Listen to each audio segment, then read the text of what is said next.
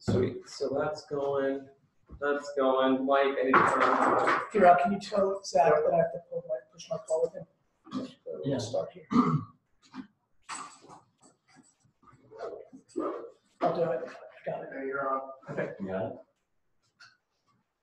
Um, and then can you? You just check to see if your mic is turned on. It may have been turned on. Or no, it's off. Sorry.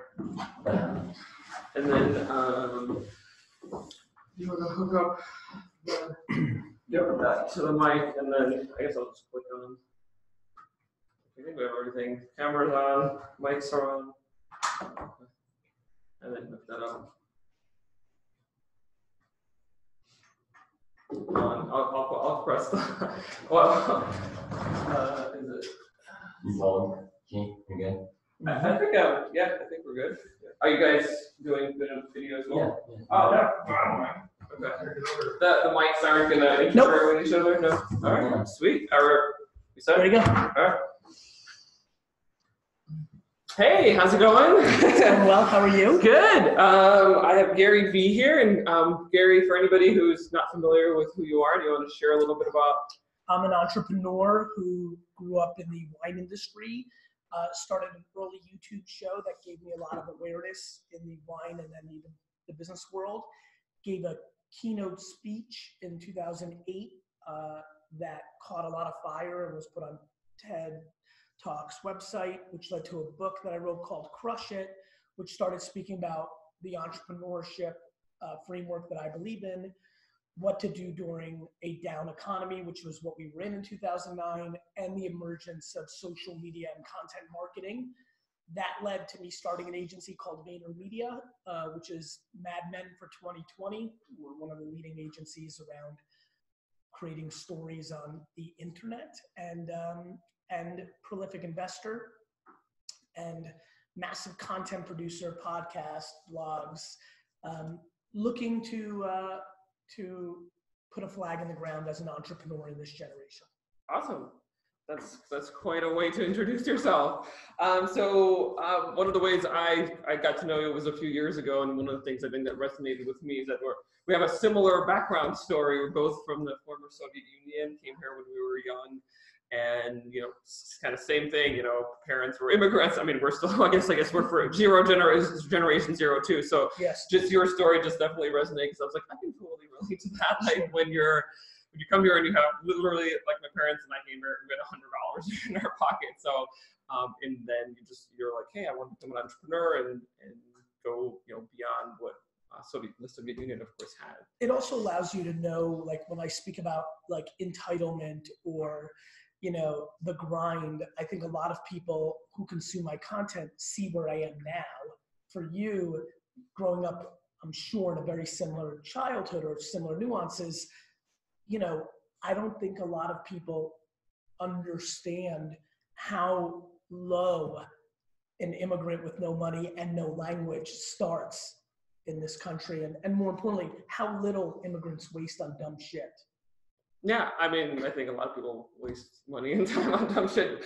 Um, but yeah, it's uh, it's just interesting to to hear about that. Um, and my parents were not really the entrepreneurial type. They were kind of like, you know, the I guess you have to Feel yeah, Yeah, yeah, like keep that. your head down, stability, get a go- good job. And I was like, I don't really want that. That's not me. So I decided that I was gonna go down the entrepreneurial path. But but we all I guess we all have our we'll have our paths. Yeah.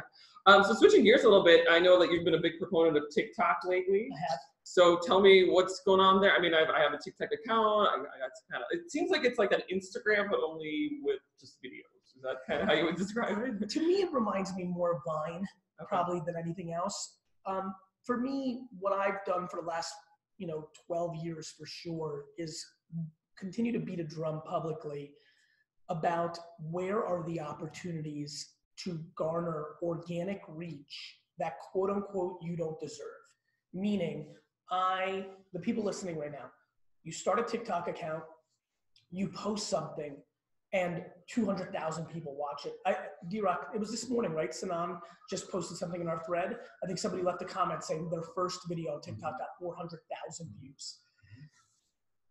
That's what early Twitter did. That's what early Facebook did. That's what early YouTube did. Most of the people right now know that you don't post a YouTube, you don't tweet a tweet, you don't post a Facebook post, and magically all these people see it. In fact, including Instagram, almost nobody sees it. There are always times where organic reach is popping on a platform because there's more attention on the platform than there is content filling that attention. Currently, the two places that that's happening are TikTok and LinkedIn. So obviously, for a lot of people listening and watching, LinkedIn is going to make more sense. The reason TikTok has, you know, it's funny. I'm saying both of them pretty equally. It's that TikTok, for most humans, when they hear that, is the place where their 11 year old daughter or niece is on. So they find it funny. It seems weirder. Um, you should have seen the backlash, or not the backlash, the pushback I got when I was yelling about Facebook in 2010, 11, 12. People still consider that a college social network. Um, so yeah, I I want to be historically correct. I want to bring the most value as an entrepreneur to entrepreneurs. And the way I know how to do that is to for free put out content that inspires and gives insights to places where there's opportunity. It would be no different than if this was 50 years ago. We're in Denver right now, and I don't know when Boulder popped, whenever, but when Boulder before 40 years? Forty years. Good, perfect. I had a good mark on it. 45 to 50 years ago, I was making a video and said, go buy property in Boulder. I think it's next. It's going to work. Here's why. I believe that I'm actually a real estate developer. It's just that I develop consumers' attention, not land. And right now, after a 25 year good record of being right about this a lot, I highly recommend the ones that follow me t- to take action on LinkedIn and TikTok. TikTok's single most important thing for everybody who's listening is the following. If it goes older, if it adds photos instead of just these videos, if it evolves, no different than the way Instagram evolved. Instagram had to add stories to stop a fast moving Snapchat that was gaining market share. If they evolve and if the demo gets older, I do believe it becomes a very important place for people in 24 and 36 months trying to sell real estate, sneakers, courses, clothes, you know, whatever. And so, but if it doesn't, and this is the most important part, if it doesn't, it already has hundreds of millions of people reacting to it. So some of the behaviors on it inevitably will be things that we as creators and communicators need to add to our repertoire, whether that happens on Instagram because of a feature change or lipstick comes out and becomes the next thing with 30% nuances of TikTok. I became a great creator because I was on Socialcam, I was on Vine, I was on Peach, I was on all these things that did not go on to win. Even but you were learning. uh, but I was learning. And by the way, when I was on Vine, I got value out of that. Right now, um, I've got I've built a huge audience on TikTok. I've had more people stop me under 15 saying, "Hey, you're the TikTok guy." In the last month, that means I know that that means that it's working. And once you get the attention, you're building brand. And if TikTok disappears tomorrow, and I, I go take those 16 year old fans and we are interacting on YouTube podcast and my text platform, uh, 212-931-5731 for everybody who's listening. Um, once you have the attention, you get to siphon it. I, I will leave you with this, and this is a long-winded answer. No, no, this is good. I want When- everybody to hear this. When Seinfeld's the number one show on TV, you run commercials on it. Nobody cries when Seinfeld then stops airing. That brand goes and runs commercials on Empire or the the Masked Singer, whatever. You know, I don't know why people are so obsessed with a social media platform sticking around forever. I don't care if any of them stick around forever. I care about when the attention's on them. Am I the best executor of content on it to siphon brand and awareness to keep moving the train along? Mhm. So do you feel is that is that how social media platforms really are? It seems like Yes. there's like an up and then Yes. and then I mean F- Facebook. But Facebook's had a 15 year run. Facebook's more SNL than it is Punky Brewster, yeah. right? I would Like say so. Facebook's had a long run. I've been marketing successfully on Facebook for over a decade. YouTube's over a decade. You know, Twitter's over a decade. So Vine had a one season and done. You know, Snap had a three, four year season, right? Um, and, think- and still and still has Snap still has I was. I was gonna ask you about Snap. What do you I've been past Snap and Pinterest right now are the two platforms that I'm spending a lot of time thinking about because there is attention, not to the level of Instagram, YouTube, and Facebook, but there is attention, and I want to, you know, I want to execute on my own. I want to eat my own dog food, so I'm mm-hmm. trying to get better at those. So do you think TikTok is going to monetize eventually? Like, Of course, they're businesses. okay, that's should. all. I mean, I, what lo- do I love that people are mad at Instagram. Like, I saw somebody leave a comment the other day. Instagram is a mean corporation. They're killing organic reach so people can run ads. I'm like, it's free. yeah. Like, it's free. You're not mad at the bus for charging you for transportation. You're not mad at cable for billing you each month for cable and internet. You're not mad at the hair, you know, dresser charging you. Like, I, I don't understand the entitlement of people that use these platforms for free, get awareness, then sell T-shirts, courses, uh, uh, energy drinks. They make their whole livelihoods on it. The platform was free. Yeah, I think people just have have trouble with like, hey, it was free, and now I have to actually like, it's just like It's, change. uh, you know what's funny? And you, you corrected yourself. You don't have to pay. You just get less organic reach. Absolutely. You're, by the way, on the record. If you don't like that Instagram's organic reach is declining, you are more than welcome to be in control of your life. Go and crush TikTok and LinkedIn while it's organic, or spend money on Instagram because guess what? Instagram ads are underpriced while we still go through this transition. I just don't understand complaining. Well, I think people like, people just get used to it. They're like, oh, Facebook was awesome, like you know, five, ten years ago, and I was getting everything for free, and my page was getting everything for free, and Booking Post Malone for five thousand dollars at your concert was a good deal too. Before he became Post Malone, buying Amazon stock eight years ago was a good idea. You know, things go up. I mean, French wine's about to go up twenty five percent because of tariffs. People are crying at my dad's wine store. I mean, it is what it is. Like that's the rules. Like things change. Yeah, absolutely things, change. Things change. So what do you By the way, for everybody who complains, and I'm sorry, I'm just excited about this. go for it. Why aren't you willing to work for seven dollars an hour like you used to at Taco Bell? Why should I be paying you a hundred thousand? Why can't I go to all my employees right now and ask them to go back to what they were getting paid the first day? Things change. People love to blame other things. What about yourself? If you're so sad about Instagram organic reach, why don't you go back to getting paid minimum wage? And I'll give you your organic reach back. I guess nobody wants to get paid minimum wage anymore. I just don't I don't understand dwelling, complaining on things that you don't control. More importantly, you've got me and many others who are yelling at the top of their lungs on the top of the mountain saying, Hey, this opportunity exists, take advantage of it. And then people don't, and then they get upset. I mean, I'm already getting DMs from people like, oh man, I should have posted four times a day on Instagram.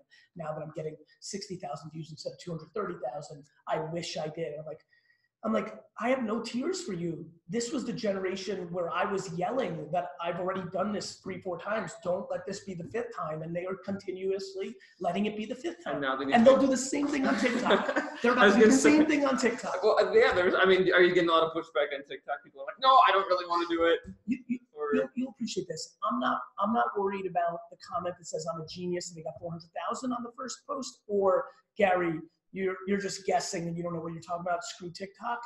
I'm not. I. It doesn't really matter. It again. I use this analogy a lot. It would be like the home crowd booing me because I'm down seven nothing at the end of the first quarter. It doesn't matter because it's it hasn't played out yet. Anybody that executes on what I'm saying will benefit because the data's on my side. Hundreds of millions of people use TikTok. It's the number one app in the App Store right now. There's an enormous amount of attention. And do you feel like? I mean, it sounds like it's mostly for the younger generation. So is, do you think it's just going to age out? I do. Up I do. Okay. Instagram evolved out of being for photographers trying to take nice landscaping and sunsets. That's true. Facebook evolved out of being just for college kids. Twitter evolved out of just being for the tech elite in Silicon Valley and nerds talking and one wine guy. You know, Tumblr evolved out of being like junior high, you know, anime and like culture. They all evolve. That makes sense. So do you- YouTube evolved out of being a place where you ripped copyrighted content from television and put it on there. They all evolve. All of them have evolved. So yes, I do believe it will evolve as well. So you- you're very good at predicting what's going to happen next. What do you think is besides TikTok, which is already on its way up? It seems like. What do you think is? You know what's funny? This is a very meta. I appreciate this question because I don't think I'm good at predicting. I think I'm good at observing the current. So people feel like I'm predicting something with TikTok, even though it's the number one app. I'm just a fast mover and executor on what's happening. I will say that voice is very much on my mind. You know, I've Yeah, you do talk a lot about that. Yeah, So absolutely. I, I do believe in the Alexa, the Google Home, the Apple Pod, or whatever other home AI voice-driven device. I do believe that that will be the next platform, like the iPhone was. So I'm looking forward to learning how to navigate that world. Absolutely. Um, so are you still down to buy the Jets? Is that is that you haven't talked about it? I feel like recently. Is that it's been on the? I think that's a serendipity of what you're seeing for me. It's always in the air. Uh, always. I'm also in a very good mood today because this is the Tuesday after our first win the season against the Cowboys, so that always feels nice. Yeah, I mean that is. Oh, I have two very big goals. One, to create such a legacy that I'm considered one of the great entrepreneurs because I gave the most back to entrepreneurship and I left a legacy of giving uh, without asking in return. So that's my altruistic, selfless kind of framework. And then my selfish, kind of silly, fun, personal business goal is to navigate building a big enough business and businesses that it allows for the kind of capital required to buy the New York Jets. And they're very different goals. They pull from opposite directions, which is very me. And um, they're both very much forever. I want the most people to show up to my funeral because I gave the most without any costs involved. And I want to uh, win a Super Bowl as the owner of the New York Jets. when do you think that's going to happen? I think based on my my behavior and based on the ownership of the Jets ages, I think 20, 25 years To, to buy or to win the Super Bowl? to buy. To buy. And then I'll need three to five years to clean win. up. So you don't think they're going to between the next 25 years not going to have you know, it's, Super Bowl? it's something I think a lot about. Like, do I want it to happen or don't I? Like, I kind of want it to happen because I'm a fan. I'm a true fan, of course. And I really think Sam Darnold is our answer, uh, who's our quarterback, uh, who's in his second year. He's really got it. Um, but I'd be lying if I didn't say that secretly I like the idea of it never happening. And being the underdog. I'm the, you know, the knight in shining armor that came and saved the Jets nation. Awesome. Well, thanks so much for being here. Thanks for having me. Yeah, it's really, I'm very excited that you decided to join me and and do this. It's uh, any last things that you want to talk about? content creation in places where the attention is affordable is a framework that everybody needs to consider. Do you write? Do you do audio? Do you do video? Do you need organic reach like I did with email? Or do you have the money to spend on Instagram ads and pre roll YouTube and Facebook? That kind of blueprint, it's very basic, but it's incredibly powerful. And if you're not a modern day content creator, you are basically not relevant going forward, in my opinion. And everybody has to understand podcasting, blogging, YouTube, Facebook, Twitter, Instagram, whatever. Everybody. It's as required as taking care of your health, as required as balancing your checkbook. It is a it is a requirement to success going forward. Creating lots of content. Being Hundreds. a communicator. Being a communicator. Didn't you say, is that hundreds? Hundreds of, a day. Hundreds a day. Because I think that pushes people to be like, wait a minute, I'm doing two a week. So I want them to see the delta of, I wanted to give them something literal to hold on to, to understand what I'm actually saying. Awesome. you so Thank you so much. much. Continued Yeah, success. thanks. Thank Thanks, you. everyone. Thank you. You should probably talk to George R. Martin. He wants to buy it too. Joe, who's that? The guy who wrote Game of Thrones. Oh, is that true? He's he wrote a he wrote a character in one of his books called Belichick, who was this wayward leader who cheated and, and I love it. his documents. I love it. I need to